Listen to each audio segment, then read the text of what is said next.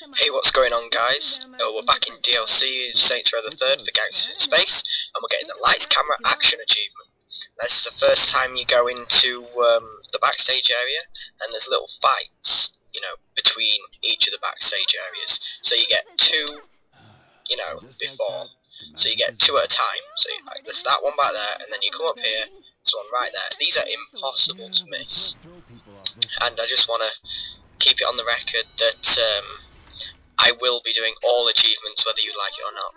Next one is in this little doorway. That's kind of you could miss it if you weren't looking for it, if you didn't know where it was. Like, uh, but it's pretty difficult.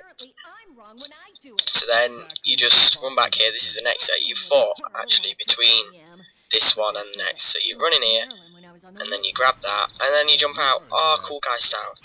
Right, okay, now she gets pissed off again, and she kills a load of guys, well, women, we run in here, past the awesome giraffe, past the hippie bit, and you grab the next one, that's 5 out of 6, we are making good time. Now the next one, I didn't even have to cut to this one, I just knew where it was instinctively. You just come around here, you grab it, and lights, camera, action. We have the achievement. 5 gamer score. Oh yeah, I'll be here all week.